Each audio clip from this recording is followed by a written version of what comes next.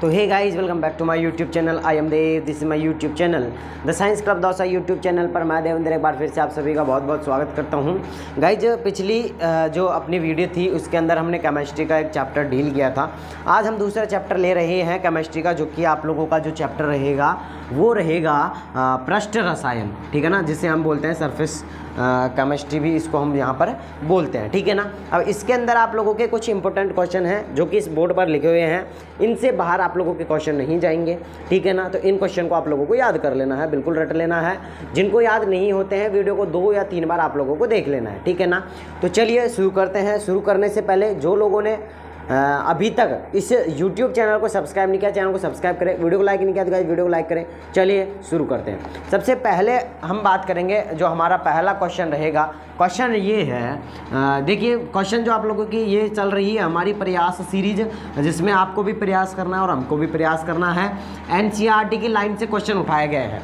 किससे? एन की जो लाइन है, उनसे यहाँ पर क्वेश्चन उठाए गए हैं। क्वेश्चन कैसे बनता है? जरा देखिए। सबसे पहला क्वेश्चन बनेगा कि जल वाष्प का अधिशोषण जो होता है, वो कहाँ होता है? जल वाष्प जो होता है, उसका जो अधिशोषण होता है, वो कहाँ पर होता है? तो वो होता है सिलिका जेल के अंदर।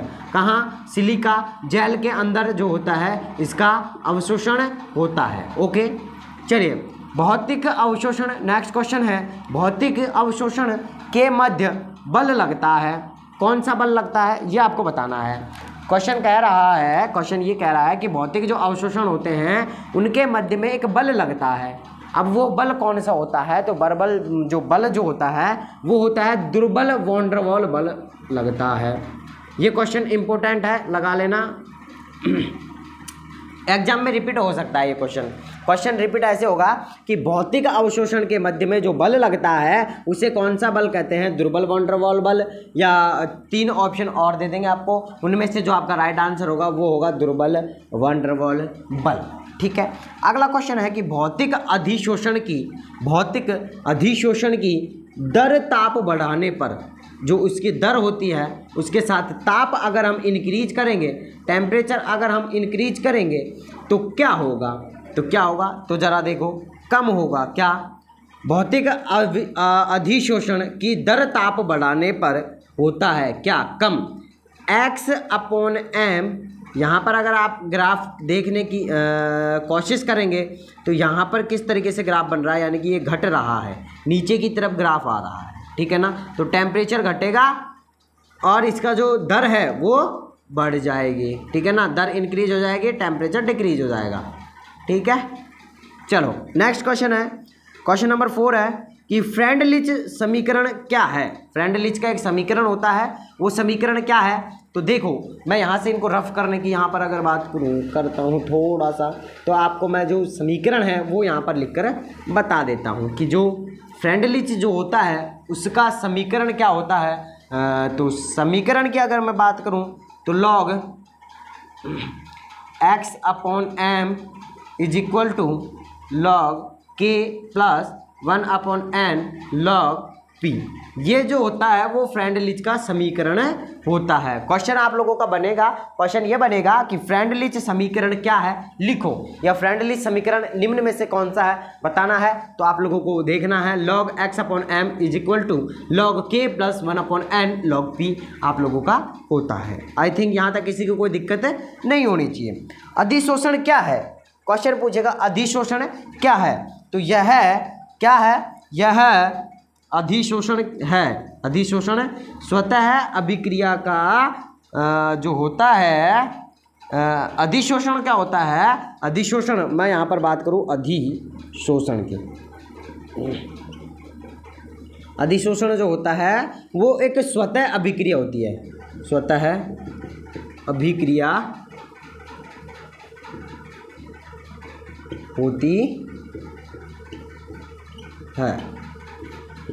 अधिशोषण क्या होता है? एक स्वतः अभिक्रिया होती है ऑटोमेटिक खुद की तरफ़ से जो क्रिया होती है, उसे हम अधिशोषण बोलते हैं। हैबर विधि में उत्प्रेरक का कार्य क्या है? हैबर जो विधि होती है, उसमें उत्प्रेरक का कार्य कौन करता है? उत्प्रेरक आई थिंक आप सभी को पता होगा, जो अभिक्रिया में उसकी क्रियाविधि को क्या करते हैं? बढ़ाते हैं, घटाते हैं, यह आप सभी को पता होगा। तो उत्प्रेरक का काम कौन करता है? बताओ। उत्प्रेरक का काम। प्रेरक का काम कौन करता है? करता है। किसमें? हैबर विधि। हैबर जो विधि है आपकी, कौन सी विधि? हैबर विधि में। मैं यहाँ पर आप लोगों से बात कर रहा हूँ हैबर विधि के बारे में। हैबर विधि के बारे में, ठीक है ना? तो हैबर विधि में उत्प्रेरक जो होता है, उसका काम कौन करता है? वो करता है एफ़ ई चूर्ण। कौन सा? एफ़ ई जो चूर्ण होता है एफ़ ई का मतलब आयरन। आयरन के छोटे छोटे टुकड़े होते हैं ऐसे, जो अगर हम वहाँ पर डालते हैं, उसके अंदर से ज्वाला निकलती है मतलब कि वो आग में थोड़ा दहकता है। तो उत्प्रेरक का काम कौन करेगा? एफ़ ई चूरण जो है, हैबर विधि के अंदर करेगा। क्वेश्चन आप लोगों का छप सकता है ये ऐसे कैसे? ध्यान रखना है, ठीक है? चलो नेक्स्ट क्वेश्चन की यहाँ पर अगर मैं बात करूँ आई थिंक यहाँ तक किसी को कोई दिक्कत नहीं होनी चाहिए। अगर है तो आप कमेंट बॉक्स में कमेंट कर सकते हैं, ठीक है? चलो, अगला क्वेश्चन बन रहा है हमारे पास कि गैस मास्क में किसका उपयोग किया जाता है? गैस जो मास्क होता है, कौन सा? अगर हम यहाँ पर बात करें गैस मास्क की गैस मास्क के अंदर किसका उपयोग किया जाता है? बताओ तो। किया जाता है। इसके अंदर जो उपयोग किया जाता है, सक्रिय जारकोल का। सक्रिय जारकोल का उपयोग किया जाता है। किसका उपयोग किया जाता है? सक्रिय जारकोल का उपयोग यहाँ पर किया जाता है। किसके अंदर? गैस मास्क के अंदर। किसके अंदर? गैस मास्क के अंदर सक्रिय जारकोल का उपयोग किया जाता है। आई थिंक यहाँ तक किसी को कोई दिक्कत नहीं होनी चाहिए। ठीक है? चलो नेक्स्ट बढ़ते हैं अगले क्वेश्चन की तरफ़। अगला क्वेश्चन है हमारा। देखिए गाइस सरफेस केमिस्ट्री में ये जो क्वेश्चन बता रहा हूँ, इनसे बाहर आपके क्वेश्चन नहीं जाने वाले हैं। प्लीज़ वीडियो को दो या तीन बार देख लीजिएगा। क्वेश्चन बिल्कुल रट लीजिएगा। ज़्यादा क्वेश्चन नहीं है, तेरह क्वेश्चन है। ठीक है? चलो, अगला है कि नारियल झारकोल का उपयोग किसमें होता है? नारियल जो झारकोल होता है, कौन? नारियल झारकोल नारियल झारकोल का उपयोग किसमें होता है? नारियल झारकोल का उपयोग किसमें होता है? अक्रिय गैसों के पृथक्करण में। अक्रिय जो गैस होती है, कौन सी गैस है? अक्रिय गैस जो होती है उसके पृथककरण में, पृथक्करण में मतलब कि क्या कहें? तो अक्रिय जो गैसें होती हैं, उनका पृथककरण किया जाता है। मतलब कि अलग अलग करने में नारियल जारकोल का उपयोग किया जाता है। किसका? नारियल जालकोल का उपयोग किसमें किया जाता है? अक्रिय जो गैसें होती है, उनको पृथककरण करने में इसका उपयोग किया जाता है। अगला है क्वेश्चन कि रासायनिक अवशोषण में रासायनिक अवशोषण क्या है? तो रासायनिक अवशोषण एक प्रतीय, एक परतीय मतलब कि एक परत होती है। ठीक है? कैसा है? तो रासायनिक अवशोषण क्या है? रासायनिक अवशोषण एक परतीय अवशोषण है। कौन सा? परतीय मतलब कि एक परत होती है। आई थिंक यहाँ तक किसी को दिक्कत नहीं होनी चाहिए। अगला क्वेश्चन है कि रासायनिक अधिशोषण की एंथैल्पी कितनी होती है? रासायनिक अवशोषण जो होता है ना, अगर आपको गाइज़ वीडियो थोड़ी सी अच्छी लग रही है तो प्लीज़ वीडियो को लाइक करें। चैनल पर नया है तो सब्सक्राइब ज़रूर कर लें। ऐसी और वीडियो आएगी। अभी थोड़ा मतलब कि नाइट का टाइम है, ग्यारह बज रहे हैं वीडियो रिकॉर्ड हो रही है। थोड़ा सा दिक्कत हो सकता है बट आप लोगों को वीडियो रेगुलर मिलेगी, ठीक है? चलिए क्वेश्चन है अगला। रासायनिक अधिशोषण की एक एंथैल्पी होती है।